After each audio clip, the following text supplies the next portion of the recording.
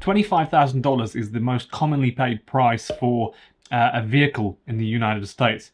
And so that's why it's so pivotal that Tesla tried to get to $25,000.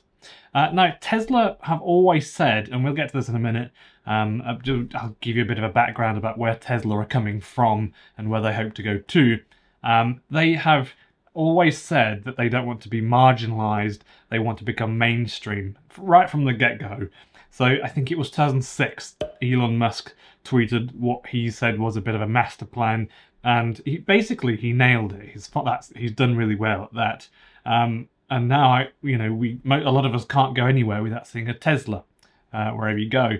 The desire for people to buy a Tesla is there, um, and so they would sell lots more of them. But it's the ability to pay for them that's the limiting factor. So um, the, the executives at Tesla, when they did a recent presentation, have said that they are working on a platform, and they've listed out how, exactly how they'll make the platform. Um, they'll they'll make a platform and then that will have a few different types of cars on that platform. Um, and they've explained um, in particular why that platform allows them to half the production cost of the vehicles themselves and which they can pass that saving on to you. So you can go buy Tesla for twenty-five or thirty thousand um, dollars.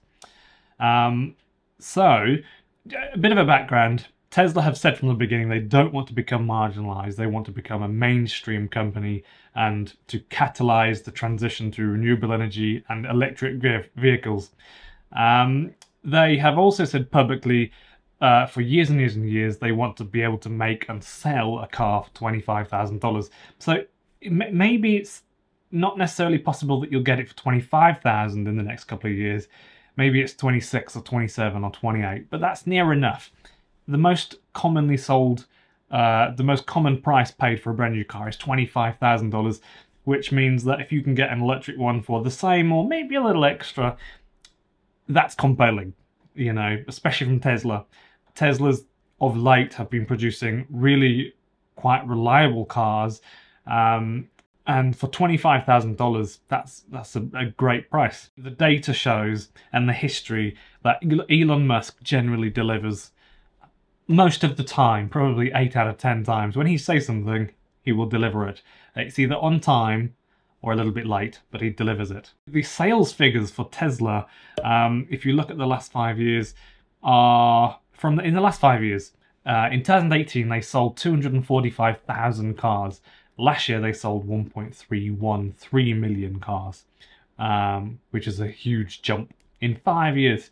So, of course, that's selling Model X's, Model 3s, Model Ys, Model S's.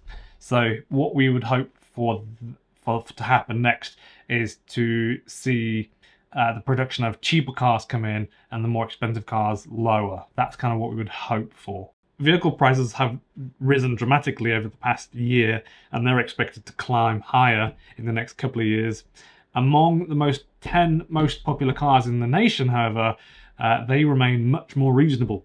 So whilst you can go get a Tesla for 60, 70, 80,000 dollars or I don't know, 50,000 dollars, uh, the most common cars are, you know, Honda Civics, Honda Accords, Toyota Camrys, Toyota Corolla, $25,000 cars, really well made, base model cars with a couple of extras thrown in, uh, $25,000, $27,000 cars. I may just make a fantastic argument for you to want to go buy a Tesla, even if you didn't want a Tesla in the first place and you just want to research them. It's important to remember too, when you compare other manufacturers to a Tesla, generally Teslas give you a lot more bells and whistles, a lot of the extras, like reversing cameras and parking sensors, that sort of stuff. With other brands, um, that can often be quite an expensive cost. So if you look at the Volvo uh, XC40, the uh, electric recharge one, lovely car, but with the base price starts at kind of a competitive price to a Tesla apart from the Tesla comes with huge amounts of stuff on it and the Volvo doesn't. And so you have to pay for glass on the roof or you have to pay for, um, oh, there's all, there's all sorts of stuff you need to pay for. Here are some screens from uh, Tesla that they've said uh, this is how we're going to reduce the cost. Uh, so they're sort of suggesting that they're going to use a lot less space um, and a lot less machinery and whatnot to produce these cars. So it'd be a much more simple, primitive design, I would imagine. These are screens from Tesla, and you can see this is how they plan on doing it. So they're suggesting that the uh, reduction, 40% reduction in manufacturing footprint, uh, and they've made a lovely little screen for you. And then they're suggesting it's going to be half the price in total uh, to produce the next generation platform um, compared to the Model 3 and Y, which would get you a $25,000 car. They're suggesting that more people can work simultaneously on the next generation vehicle.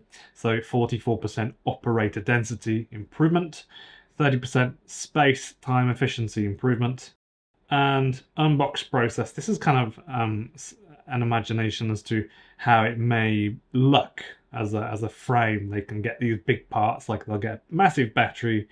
Nobody knows what it's going to look like. So if you imagine kind of uh, maybe the same as what you've already got, Model Y, Model 3, maybe a bit smaller, maybe a bit more of a hatchbacky type feel, but maybe not actually a hatchback. It might be maybe like a Model 3, but just in some way simpler, less sporty, more basic, you know? That sort of thing. So that's how I imagine it will go. Uh, tell me what you think in the comments. I read every single comment. If you want any questions, I will get back to you. Um, yeah, thanks for watching. And uh, why not just check out my other videos because I make videos about electric cars and the, the very latest of what's happening. And I make videos every single day.